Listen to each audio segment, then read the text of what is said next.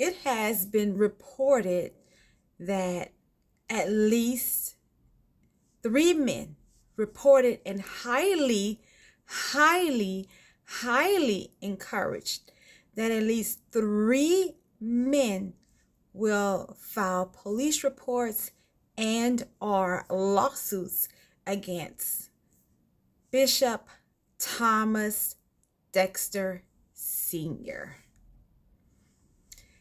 But one of those men have already did lives on it, has already made videos on it, has already talked about it, and it's open and it's dealing with it in public. The only reason why he came out in the first place is because the allegations surrounding Bishop Thomas Dexter Sr. and Sean P. Diddy Combs. And for the Christmas celebration at the Bishop Church, the bishop said he did nothing wrong to nobody. And he had this arrogance see about him to the point where he's untouchable. Then and only then Bishop Manasseh Jordan came out because he felt like that he was trying to get away and presenting himself as perfect and without spot and without blemish. And it really hurted him to come out. With that being said, there are text messages that the Bishop Manasseh Jordan has. Well understand church people are very trusting, gullible, don't think a lot, just feel a lot. And I know some people are going to be like shocked, and they already are shocked from seeing the picture that a 60 year old man sent a 25 year old young boy of him flexing. And all of those say he won't flex and look at his hands. He was flexing, and his chest was sitting up. See how mine do when I do that? And said, I'm thinking of you at 2.33 a.m. That was a lot for some people to absorb. And some people say, okay, well, that doesn't mean anything. Now, just put yourself in Bishop Jordan's shoes or my shoes who have children. If a 60 year old person of the same sex as my child is sending them a picture at 2.33 a.m.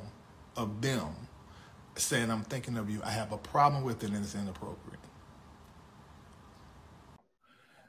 May the 26th, 2016, at 2.33 a.m. I looked at that picture. I said, this is like deja vu. Because that's the same thing Eddie did flexing and was in the exact same color shirt. I said, now wait. This cannot be a return Pete. Let me look closer. And I saw where he was squeezing his fist flex, and you can see it even in his forearm, and trying to sit his chest up. And said, I'm thinking of you. I said, This this is this is the exact same kind of going on, if you want to believe that that's what Eddie Long was doing. If you're going to believe that's what Eddie Long was doing, you can't help but believe that's what Bishop T.D. Jakes was doing. It's the exact same play. I'm thinking of you at 233. Am I saying that Bishop T.D. Jakes should be thrown away? Hell no. The contributions that this man has made, you can't, what you, you, come on. But what I am saying is that you and I can love Bishop T.D. Jakes and at the same time say what the hell we think or call out a wrong thing. NASA and everybody else who have experienced similar to what he experienced at the hand of Jakes or any other leader, you can possibly trigger them up. And I know Manasseh didn't even know how he was bothered until we started going through the text messages. And he said, Oh my God, I, I did, I forgot about this part of the conversation. I, you know, and getting triggered all the way up, and then really come to realization, oh, I was used, and because I did not do what he wanted, then I was dropped, and that's just not a good feeling. It is horrible. Can you let Lotley know that I'm live, Kendall? He Lotley is calling me. Let him know that I'm live on IG. And um, I did not want to take all the pictures that I took when I wasn't supposed to be taking them and put them out. Because as I said before, I don't think that that would have been kind to Manasseh. I don't think it would have helped the the story because I, the story is predatory grooming. The story is not getting into the salaciousness of what Jakes was saying to Manasseh. Like, have you ever had somebody to play in your booty hole? See, if I had led the conversation with that kind of stuff, everybody would have gotten into the salaciousness of it. One was 60 and one was 25. One was completely estranged from family and friends and just out in the world that he had never been in the world in that type of environment before by himself. So if a man at 25 is vulnerable, imagine a woman. So we get a glimpse in this these clips that I have composed to see what's going on and how everything is moving along. As someone who has been in the church all my life and who can run down some things and how things happen in the church and and seeing things from the backdrop and now outside of the church looking in it's heartbreaking that the pastors can't even be real with the church members